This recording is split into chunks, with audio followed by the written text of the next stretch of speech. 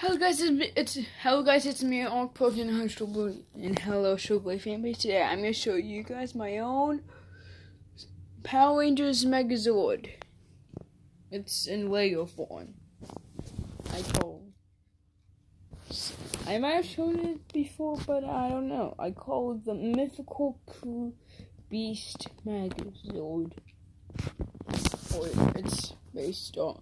It has Longinus has so I long in this Poison Hydra, Geist Fafnir, Flare Shura, and what's beginning? It's just Beyblade named Hydra, two Fire Dragon, Ice Dragon, Turtle, and Bird, I think. And this is just my own Megazord, but I made out of Legos. I think it's pretty cool has his own abilities. So, uh, so yeah. Peace out, guys, remember, keep on blading, bladers.